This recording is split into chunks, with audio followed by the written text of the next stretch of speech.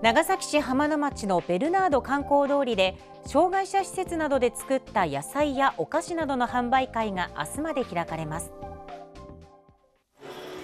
昨日始まった農福連携マルシェは国が推進する農福連携の取り組みの一環で県内では5度目の開催です。農業と福祉の連携は人手不足に悩む農業に就労の機会を求める施設の利用者が携わることで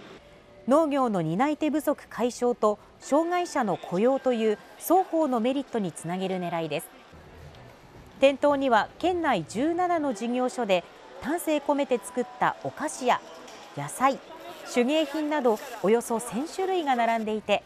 そのすべての商品に障害者が携わっています。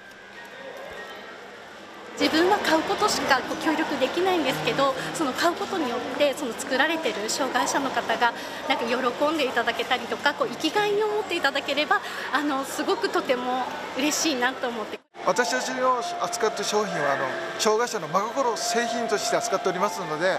皆さんあのご協力のほどもよろしくお願いします。農福連携マルシェは明日の午後6時までです